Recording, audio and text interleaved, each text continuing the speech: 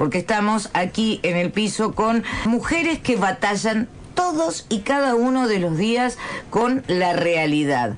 Marisa les decía al comienzo, les comentaba al comienzo que durante esta semana estuvimos de visita en diferentes barrios dentro de la ciudad y nos encontramos con realidades que si bien conocemos, si bien conocemos, yo creo que no todo el mundo conoce. No. ¿eh? Porque no les toca transitar esa parte del ser mujer, el estar sola, el que tengas que hacerte cargo de, de tus propios hijos, de tu propia economía, de darles de comer, educarlos, vestirlos, sola.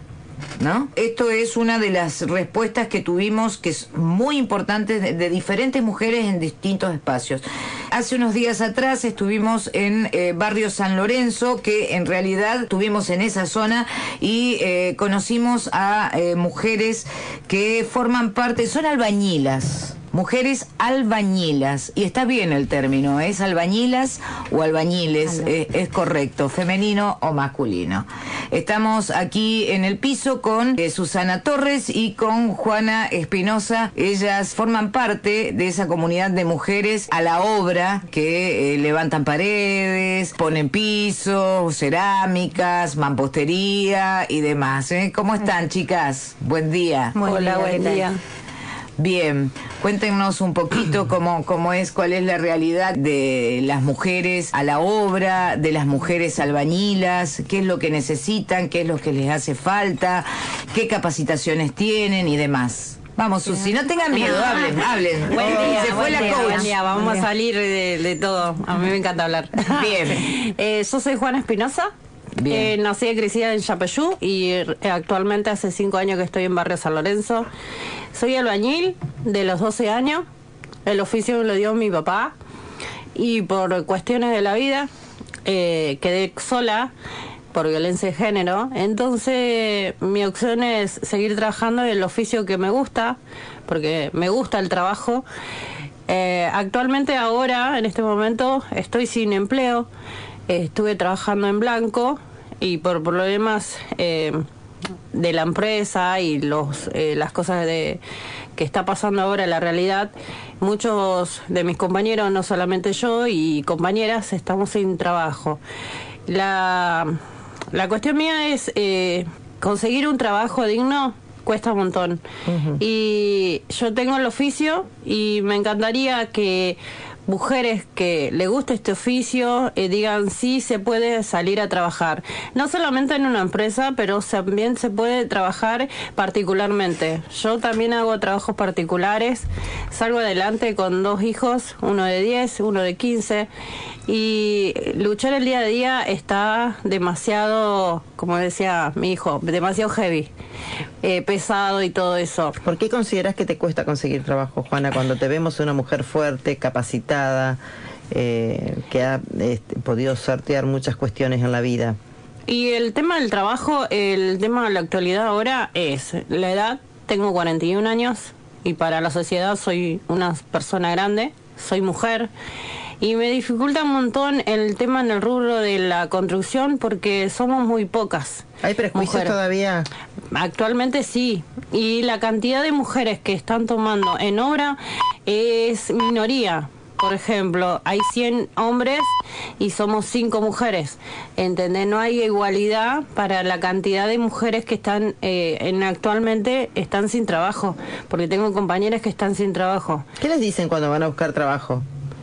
Y tenemos A las que hacer- obras de construcción Y no, tenemos que hacer eh, pertenecer a la bolsa de trabajo del gremio eh, de UOCRA, eh, presentar currículum y ser aceptada en el sentido del, del círculo de la construcción. Se buscan la hoja de vida, lo que uno realiza. No es fácil eh, decir, bueno, yo voy, golpeo la puerta y voy a tener un trabajo. Es tan difícil en este momento conseguir un trabajo digno, pero yo no bajo los brazos. ¿Por qué hablas de dignidad? ¿Qué sería, qué es lo que te Porque están el trabajo quitando? es dignidad. Un- Claro, un traba- todo trabajo es Todo dignidad, trabajo pero dignidad. hay eh, situaciones que vos ves que por tu condición de mujer eh, te ofrecen otras cosas. Mira, sin- eh, se va un montón de cosas. Eh, eh, el día a día ahora está, estás exenta a todo. con el tema del, del laburo y hay cosas fáciles, pero yo tengo una crianza a la antigua y a mí me enseñando que salir adelante es trabajando y... Por tu condición de mujer te ofrecen otras cosas eh, sexuales por el trabajo. Sí, Sí. sí, está al, al, al día. Pensando que una mujer sola, eh, por ser sola, eh, tiene la necesidad de llegar a ese punto. No te digo que hay muchas eh, mujeres que no le queda otra opción que el trabajo sexual y mantienen sus hijos con eso, pero no le dieron las herramientas para poder salir de ese ambiente. Hay muchas mujeres que no tienen la herramienta de decir, bueno, yo voy a estudiar, voy a poder salir adelante, voy a con- conocer otro oficio. Y mi idea es que, así como yo, hay un montón de mujeres que no tienen la posibilidad y me encantaría que se hagan cursos, capacitaciones, eh, no Que se les solamente presenten otras opciones, Sí, ¿no? otras opciones, porque no tener opciones es como manotazo ahogado y llegan a ese límite. Yo te vi, Juana, en tu entorno, vos ofreciste tu casa, eh, muchas mujeres, muchas jóvenes, de, eh, jóvenes y no, de distintas edades, vamos a decir bien, que no tenían trabajo, que no sabían qué les gustaba, y son presa fácil para esto que vos decís, ¿no? Decir, no hay trabajo y, tienen que aceptar estas propuestas sexuales eh, que están al pie del día constantemente, que juegan con la necesidad de las mujeres.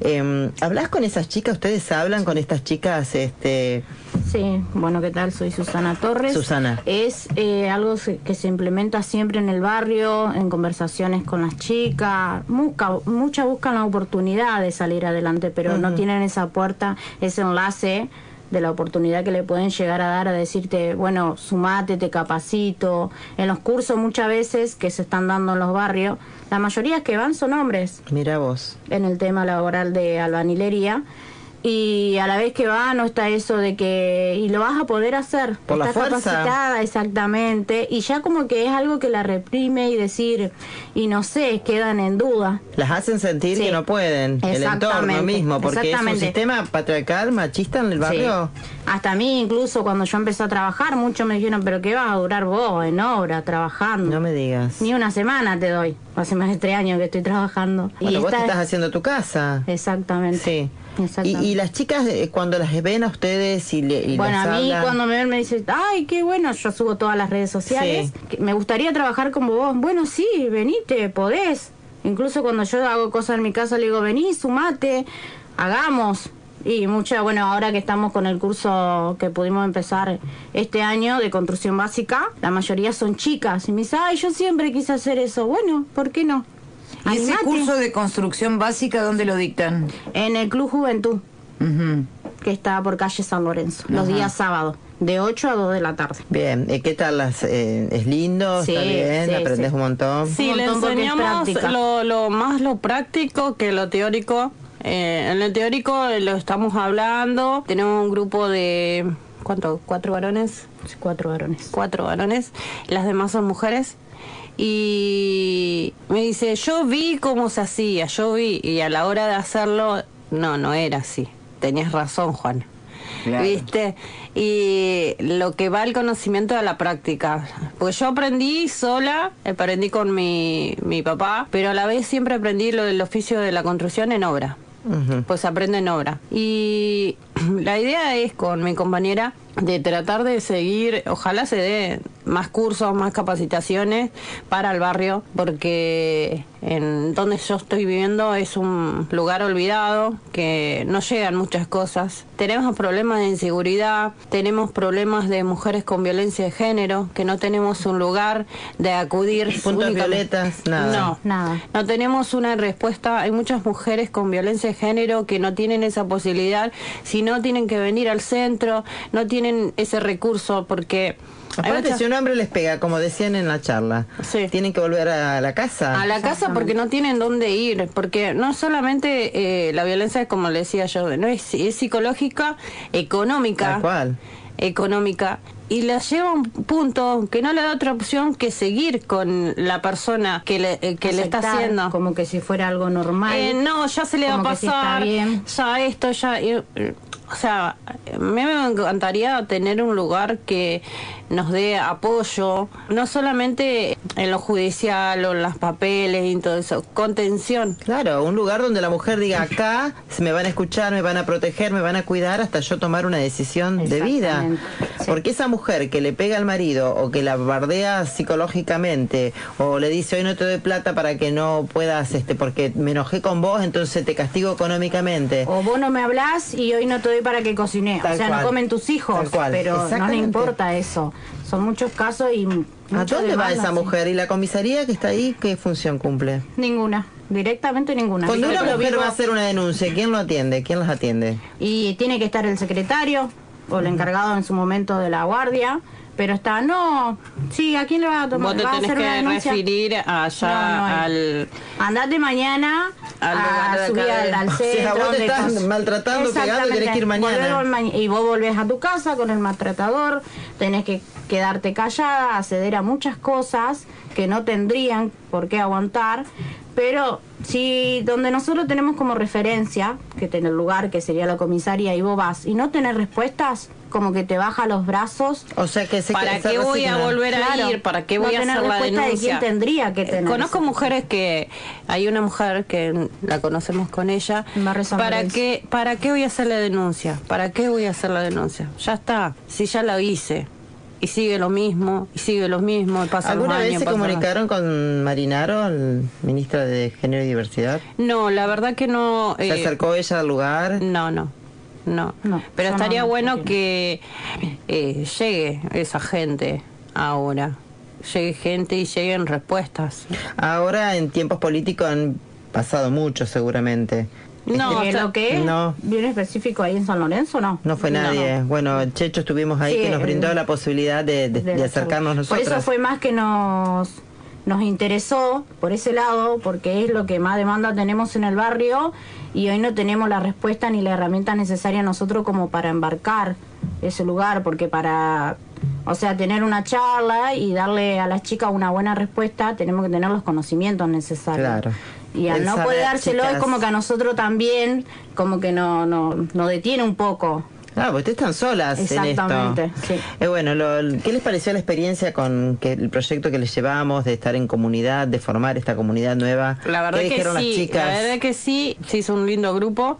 Aparte se corrió la voz. Mm, qué bueno. Varias mujeres ya me dijeron. No pude ir ese día, Juanita me dice, me dicen Juanita.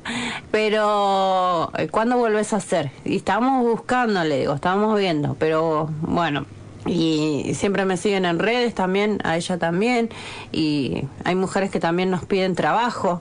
A mí me han pedido hasta trabajo de chicas de Rosario. Mm. Y está muy heavy, o sea, en el sentido del laburo. Entonces yo le digo, y anoche estuve compartiendo con una de las chicas, su cumpleaños, éramos todas mujeres. Y ya las convoqué para, para que sigan el me sigan, no solamente a mí, a ella, pero al, al grupo. Claro, se formó un hermoso grupo. para que seamos eh, más. La idea es seguir, yo digo siempre, ¿no? Que las redes nos ayudan. Ustedes, al estar en contacto nosotras con ustedes, ustedes con nosotras, ya saben que pasa algo, inmediatamente podemos actuar, ¿no? Este, un micrófono en LT9 es una voz muy importante, ya ustedes están ahí ahora, en este momento, son la voz de todas esas mujeres que hasta hace poco nadie las escuchaba.